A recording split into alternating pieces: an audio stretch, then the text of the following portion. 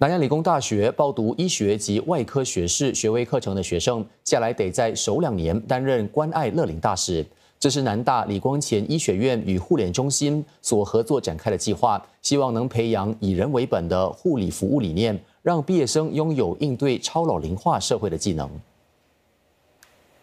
当黄希静从医学院毕业后，我国每五人当中就有超过一人的年龄是六十五岁以上。作为课程的一部分，他将与关爱乐龄大使共同进行家访，以更好的了解年长者的需求。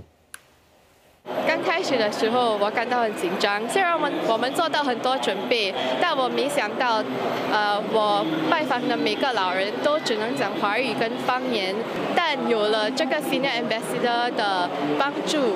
我就能更顺利的跟这些老人交通。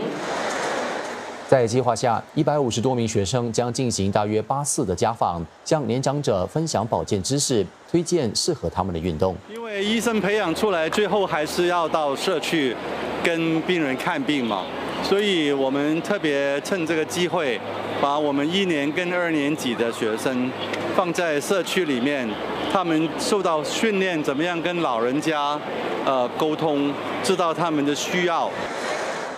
从现在起，南大每一批新医学院学生都需要参加相同的计划。卫生部长王毅康今天在海军部村庄举办的活动上，见证了南大李光前医学院与互联中心之间合作备忘录的签署。